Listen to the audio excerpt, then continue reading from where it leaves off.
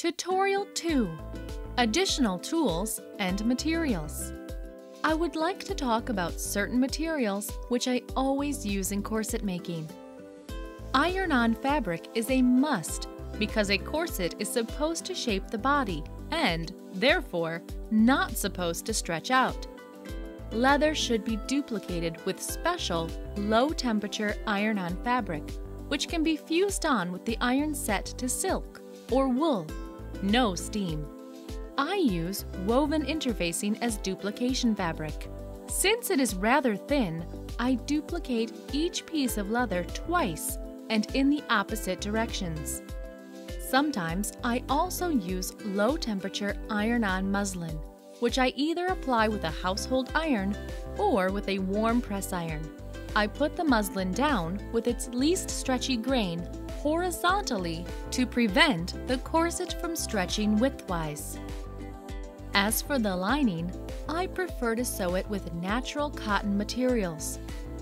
I set the iron to strong steam and decatize the fabric in advance to prevent the lining from shrinking later.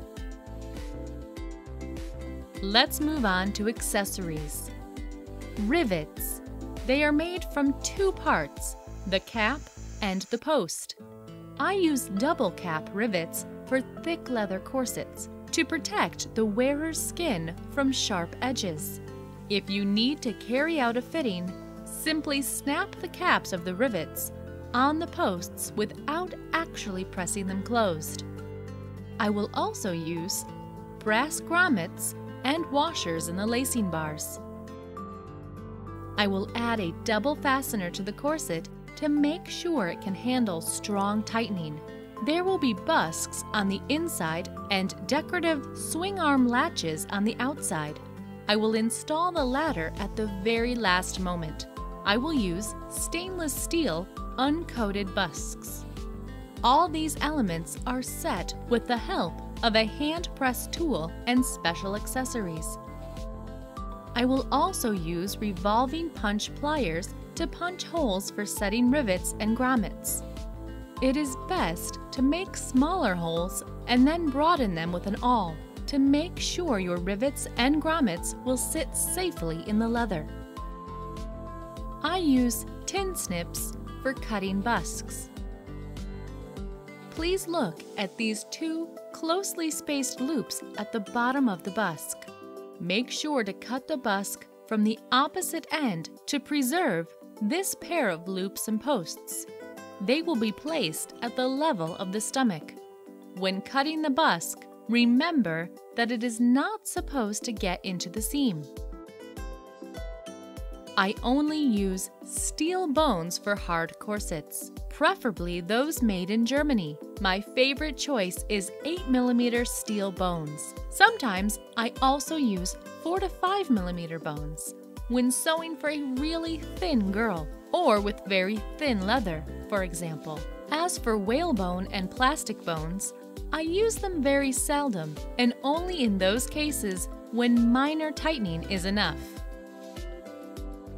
I cut steel boning with side cutters and put special steel caps on their ends.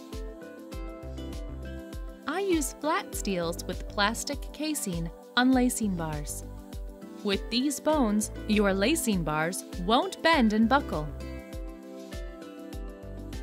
I round off the ends of flat bones and file them smooth on a bench grinder.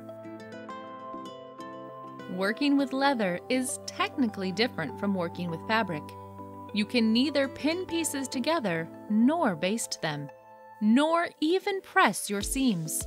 You need to use other methods instead. I use a rubber-based adhesive to temporarily secure leather pieces together and prevent their seam allowances from shifting against each other. In most cases, you can easily separate the pieces without any damage after the adhesive dries out. And I use rapid glue to secure the seam allowances together for good. I pound seam allowances using either a shoe mallet or a silicone mallet that doesn't leave marks on the leather.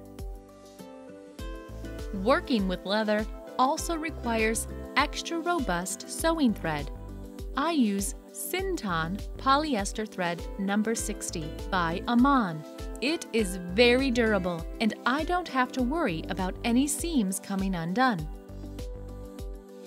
Sheepskin corsets are sewn with needles number 9014 and 116. I recommend using special needles with sharp triangular points for thicker types of leather. A silver leather marking pen is another necessary tool. Markings made with a pen like this can be easily wiped off with petroleum jelly or silicone-based machine oil. But, of course, it does not mean you should make markings all over your leather.